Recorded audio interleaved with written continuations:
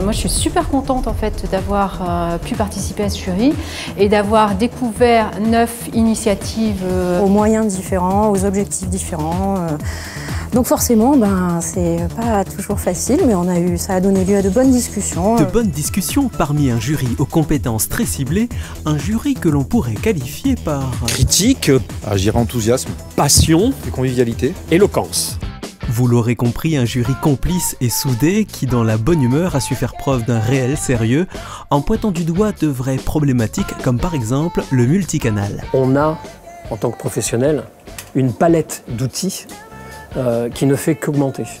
Et que c'est très dommage finalement de raisonner outil par outil euh, de manière trop traditionnelle.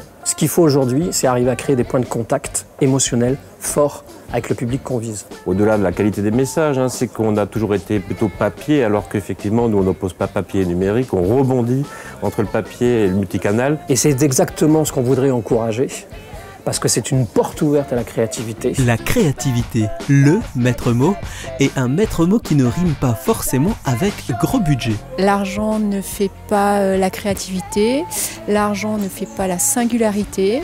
Et je pense qu'avec un tout petit budget, on peut arriver à se démarquer. C'est ça aussi une des surprises, euh, une des surprises de ce, de, ce prix, de ces prix, euh, c'est que effectivement le gros budget ne rime pas forcément avec, avec un prix ou avec une mention du jury certaines entreprises qui ont des budgets moindres et qui, euh, voilà, qui, sont vachement plus optimisées euh, dans cette campagne.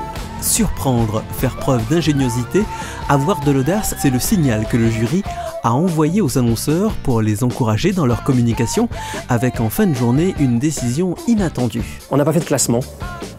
On a plutôt essayé de repérer euh, ce qui nous paraissait impactant, intéressant et qui méritait d'être plus mis en avant.